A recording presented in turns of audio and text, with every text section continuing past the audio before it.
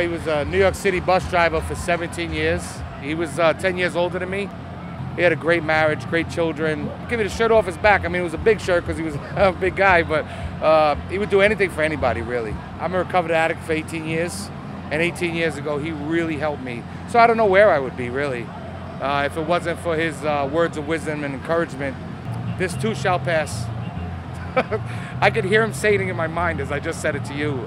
Uh, I actually started taking guitar lessons three years ago and learned how to play Dust in the Wind by Kansas. Our whole lives, no matter what we did, uh, when that song came on, which was quite often, we would stop what we were doing and focus on the lyrics. I have his guitar, I have his guitar picks that I play with every day. One word, I'd have to say love, because that's all I felt around him, really. His whole family, like everything that he ever did was always for the good of everybody else.